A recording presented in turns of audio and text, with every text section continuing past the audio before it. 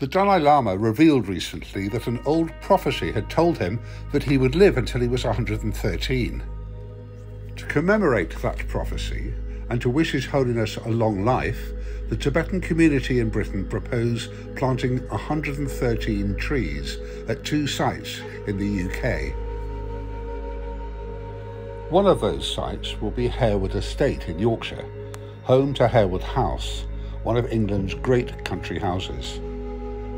There are many thousands of trees here in a landscape designed by Capability Brown, the most famous of all English 18th century landscape designers. There are many ancient trees here also, some more than 400 years old. There is an Enlightenment stupa here too. Built by monks from Bhutan and visited by many thousands of people both Buddhist and non Buddhist, every year.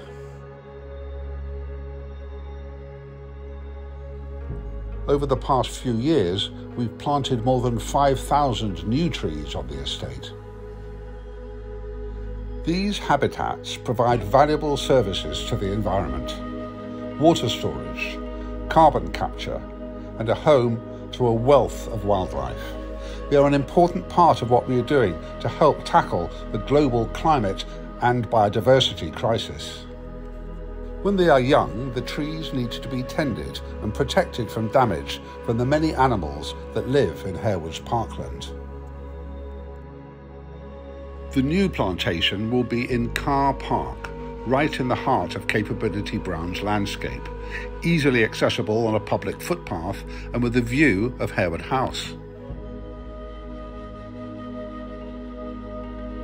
It will be a mix of parkland trees and shrub species and will form part of our wood pasture parkland restoration project. Wood pasture is a rare and threatened habitat with exceptionally high biodiversity value. In time, they will become the ancient trees of the future, a gift we hope for many generations to come.